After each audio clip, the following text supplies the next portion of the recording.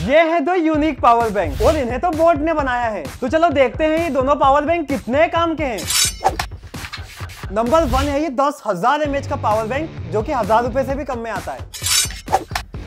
और दूसरा है ये बीस हज़ार एम का पावर बैंक जो कि पंद्रह सौ रुपए से भी कम में आता है। इन दोनों में ही दो टाइप है, एक टाइप सी और एक माइक्रो यूएसबी पोर्ट है। और यहाँ पे चार्जिंग इंडिकेटर है। फिर इन दोनों की मजबूती चेक करने के लिए मैंने इनके साथ ड्रॉप टेस्ट किए।